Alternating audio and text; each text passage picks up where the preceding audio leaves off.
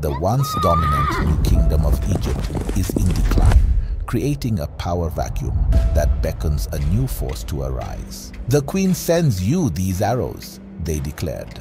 The Kushite Empire ruled Egypt during the 25th dynasty, also referred to as the Nubian dynasty. The Kushites struck a decisive blow at the Battle of Naka. It was here that they captured the bronze head statue of Emperor Augustus, a symbol of Roman authority, turning it into a symbol of Kushite defiance.